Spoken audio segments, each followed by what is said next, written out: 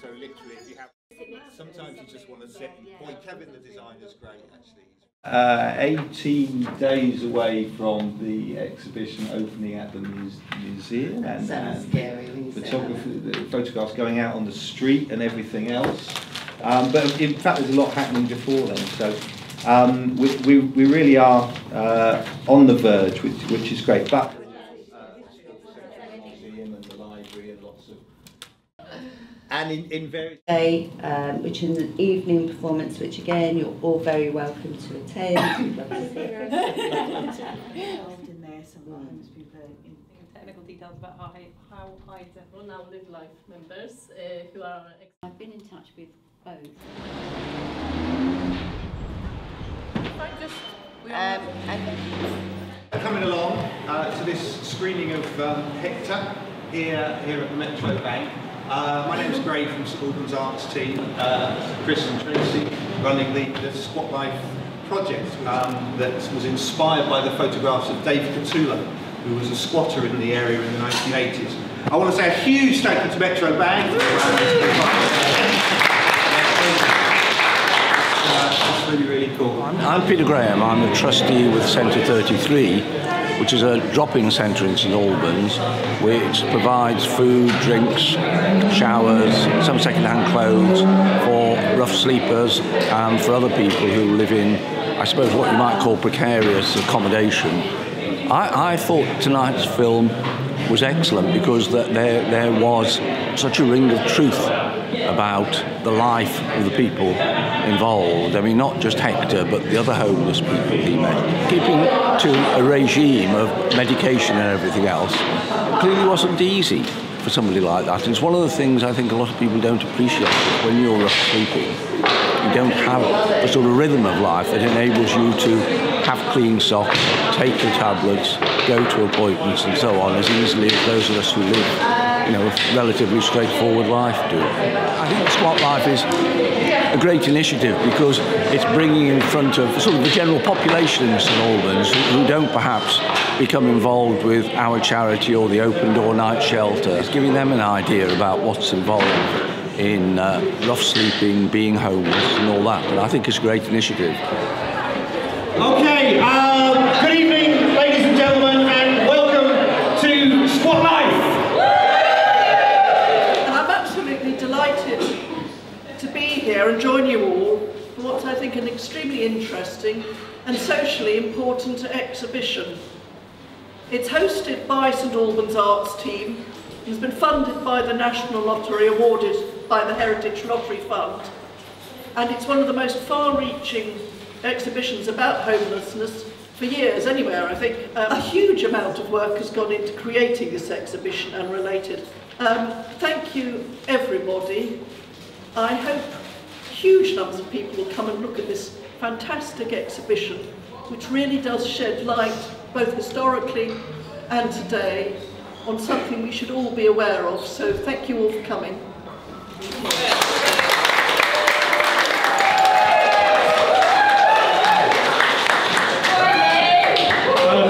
I don't really expect to be making a speech, but here I am. Here I am. Um, I'm really grateful to Graham, really, and, and to Janet Mucker McMillan, wherever she is in the background, for, for pushing me along to do something really serious with my photos. Really good to be in here tonight and actually have my pictures and show a bit of humanity of the people who I've grown up with and my, my real close friends from those squatting days. You know, we was a community of people, we've done so much together.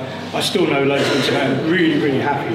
And loads of them can make it here tonight. We love you, Dave.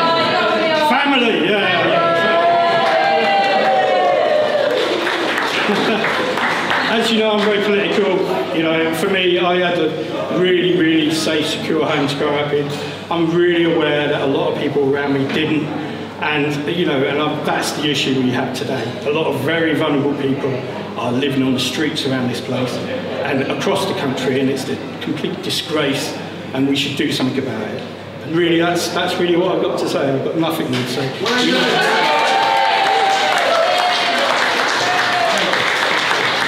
What struck me about St Albans is the difference that there is historically.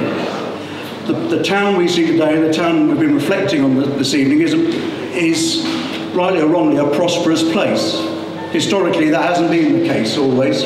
It's a town that stagnated in the 17th and the 18th and 19th centuries, and only recently has got to a level uh, of the prosperity that, to a degree, we see around us today. My little project with Herts Young Homeless, these guys are fantastic. They're looking for a home. And the ignorance that everybody has to the homeless is quite sad. And unjustified actually. These guys are working hard. We need to find a place and support for Hertfordshire young homeless people, amongst other people too.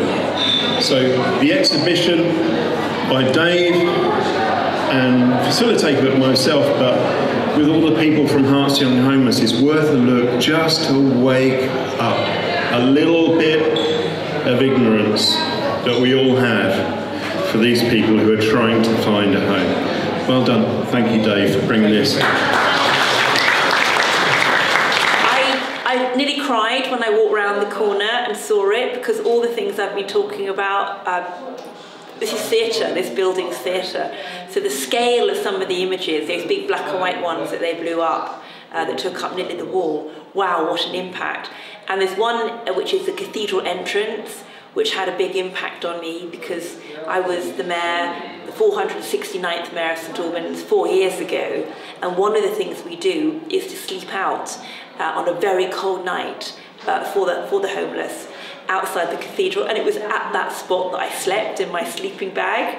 So to actually see that blown up and you know, part of squatters' life all those years ago, it was, it was incredible to you know, bring the whole circle back somehow. Yeah, exhibition. I think it's wonderful, very emotional, very nostalgic, you know, for us.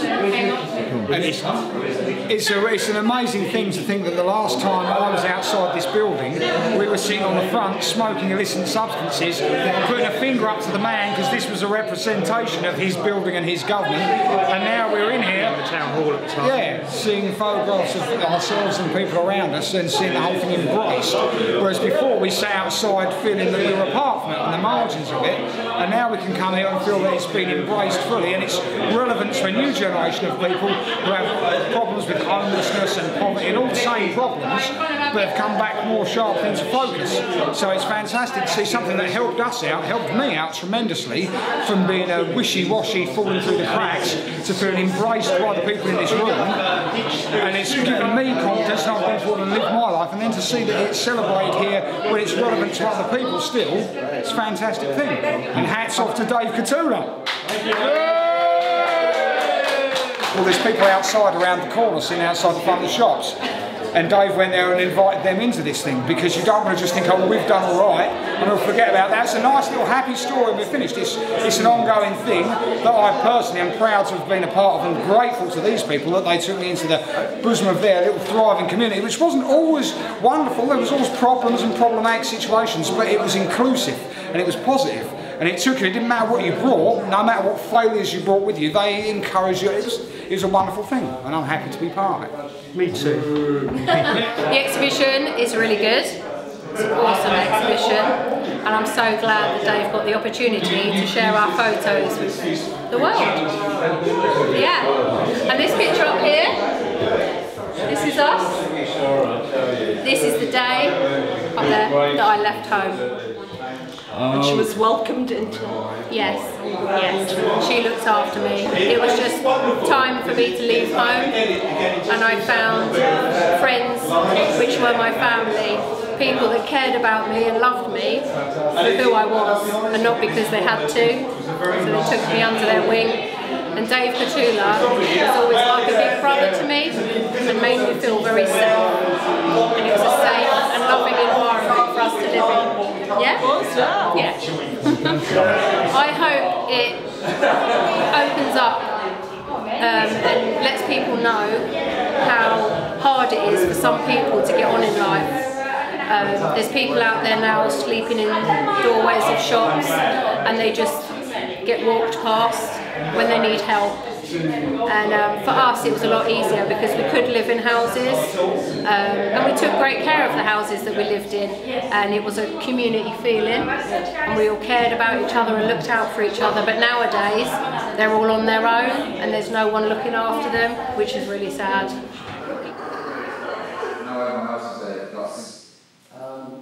So we're here in St Albans with Cardboard Citizens. It's our first time in Hertfordshire, so we're really, really excited to hear about the stories that are coming out of these uh, sort of smaller towns, smaller cities. We specialise in a thing called forum theatre, which uh, allows the audience to get on stage and have a go at solving the problems that the characters face. I really enjoyed today's session. Um, I'm really surprised actually because everyone was really friendly and I was really impressed that everyone dived in and just joined in and it was really good meeting some young people.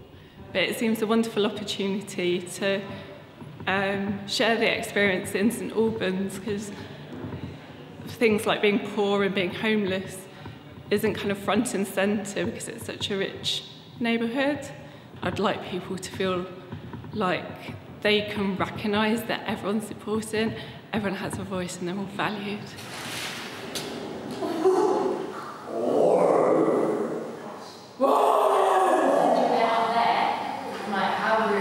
I've been doing better doing, trying to do art and writing stuff and being able to be up and dressed every day and getting out of the house a couple of times a day. But I'm not kidding, about two weeks ago I was thinking, wants to do a one day course at nine and I was thinking, oh, but if I have to get into town at nine, and I have to go to sleep and I have to get up, then it will get me really stressed and then I get a migraine. I was thinking, oh, even doing a one day course, there's no way I can do it. And then this is coming along and I was like, mm, oh no, it's what you have to turn up for the whole time for two weeks, nine till nine thirty to four thirty.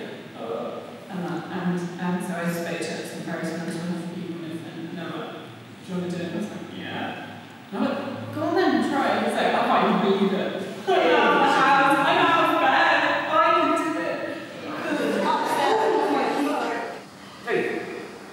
So we've kind of begun to find the story of St Albans and uh, the experience of being homeless in St Albans. So next week, it's a matter of putting all these little scenes together and just starting to rehearse and running. And the whole group were really excited.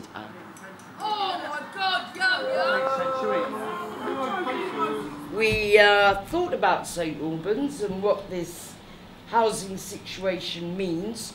And the performers you see tonight have a range of experience. Not all of them are street homeless, but certainly are aware of the consequences of the housing situation. So now, um, I'm going to introduce the young women over here. Come on, Lorraine. they won't bite. They won't bite. So, uh, obviously, for many of us, this is the first time we've they look right, don't they? Yeah, they look right. Um, actually performed. But as you watch this story, all I want you to do as you watch it is ask yourself, what might you have done differently had you been in Lorraine's shoes? Because she is up against difficult people, difficult situations. So just log those moments and think about what you might have done differently. Cool. You'll be fine. Ladies and gentlemen, trespassers, welcome.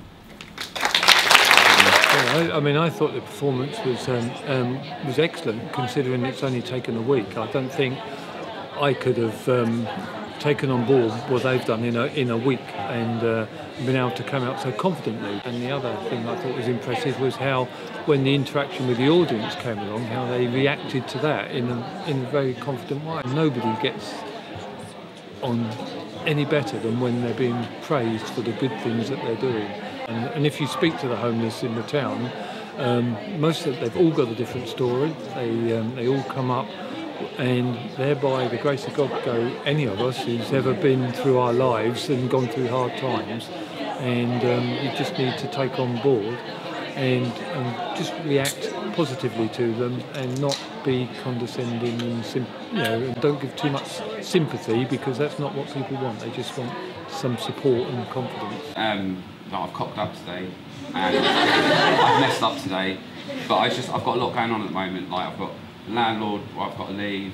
Like I might be potentially homeless, and you know I'm trying really hard to keep it together. But it's just nerves. And I understand you've got to keep standards here, but when I'm cutting someone's hair and I'm not doing it too well, and you're sort of telling me that I'm doing it wrong, it's making me more nervous. Which is Anyway, let's forget about that for now. I've been looking at the rota also. Tuesday today.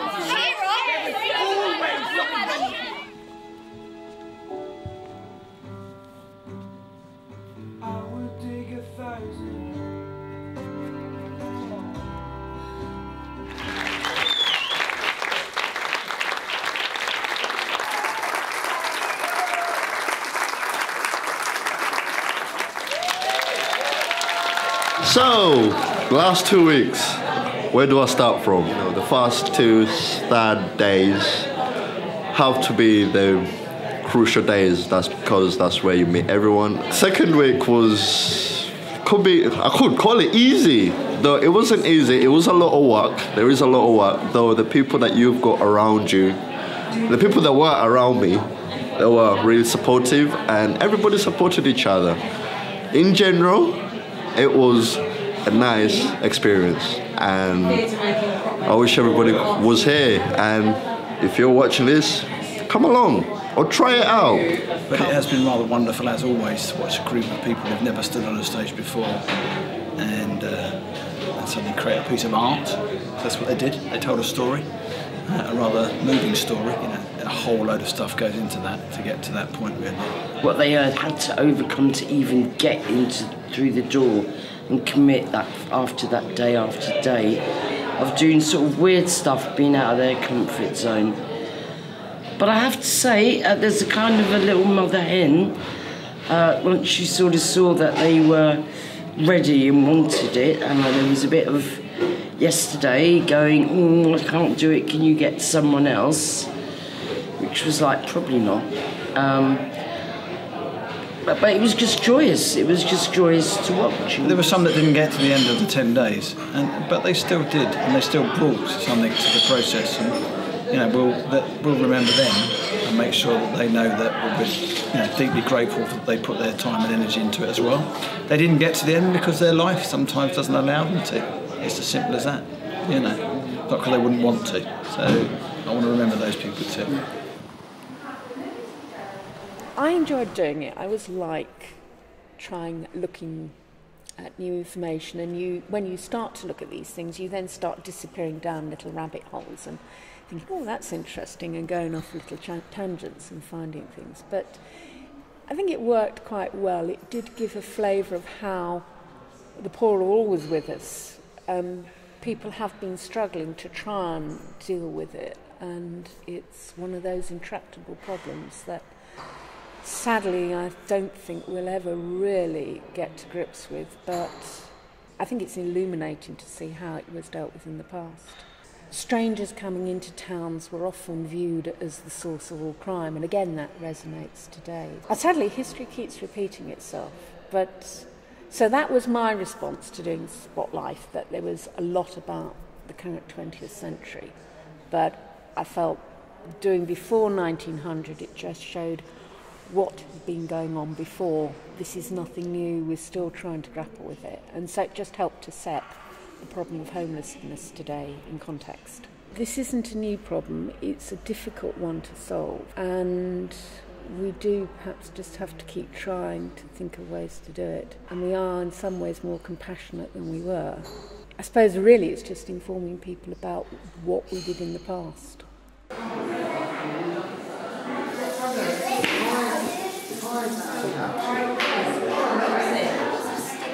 So today we've been doing a workshop with families and children from St Albans at the museum. We've been making little felt wish houses, thinking about the homeless people living on the streets and the kind of things that make a home a happy place to live and the kind of things you need in your life like food, shelter, so all those kinds of things we've been thinking about today when we've been making our colourful houses with different layers of felt and sticking things on. So I asked the children to think about the kind of home that they would love to live in, the kind kind of home they would like to, to make for someone who's homeless to live in.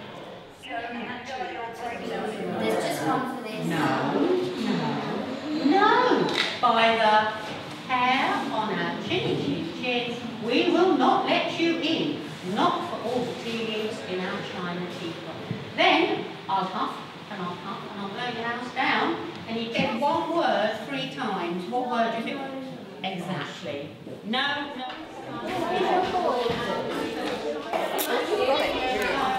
They want to be making the three actually.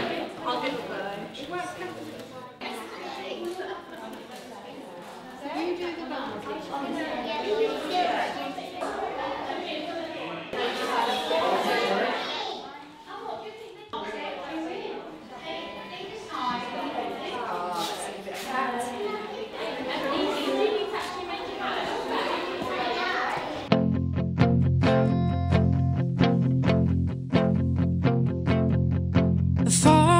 gone by, and it seems like There were a team of us from a local history group called the St Albans and Hertfordshire Architectural and Archaeological Society. We were asked to do research for these eight panels. When we compared it with Dave's work with the photographs of the squats from the 80s, homeless people don't have a voice.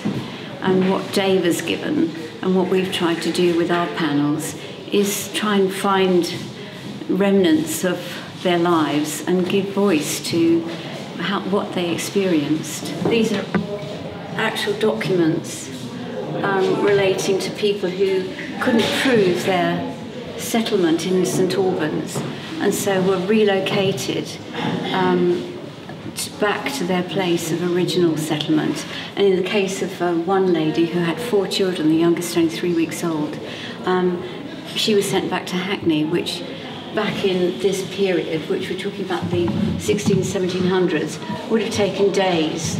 And hopefully it was by cart rather than making her walk with all her tiny children. But it just shows, in a way, homelessness is an eternal problem. Refugees are a, an eternal problem. People can find themselves refugees back in that period and even earlier. Squatted in the in the 90s um, over in Hitchin, and um, you know, so I, I got to really understand what it's like to live outside of, of the of the norm, outside of society, and the problems that, that that you face while doing that. And so, coming around looking at like Dave's amazing photography just reminded me of, I mean, this, these are all squats in the 80s, but not very dissimilar to, to the squats in the 90s, you know, the same kind of characters and, uh, you know, there's always someone called Wurzel um, or Spider, you know, there's always Rizlas everywhere and stuff like that. And um, just really reminded me of that sense of community and that sense of love and belonging, you know, that, that we had. Um, and of course, people just think that we were, you know, we were punks and we were ne'er-do-wells and, you know, should be uh, scraped off of the off of the streets, but actually what we were doing was, was reacting, you know, to uh, to a system that we felt was failing and had failed the individual, um, and we wanted to do what we wanted to do. So yeah, that's why I'm involved in it now. You know, it doesn't matter what walk of life you're from. Um, you know, try and leave all of your perceptions of what homelessness is um, at the door. Um, and come in and just look at the photography. Um, you know, try and see past as well um, the fact that some of it looks a bit dirty, yeah, and see beneath that and see the smiles on people's faces, the love that is in people's eyes, the happiness that is experienced, um, that, that's shown in these photos, um, and, and just try and sort of close your, you know, change your mind to, to what you understand homelessness to be, um, and try and absorb something new. I think it's gone really well. You know, I've had a it's been really good. You know, letting people see my pictures and showing them a bit of uh, life back in St Albans in the 80s. So yeah, I think it's been really successful in highlighting the homelessness issues today. Well, it's, it's keeping your mind open. It's like you know, just be aware of what's going on around you. You know, uh, it isn't just you know, everyone's stuck in their own little lives. And uh, a town like St Albans is very affluent, and people really do need to look after the whole community and, um, you know, and be aware of what's going on around.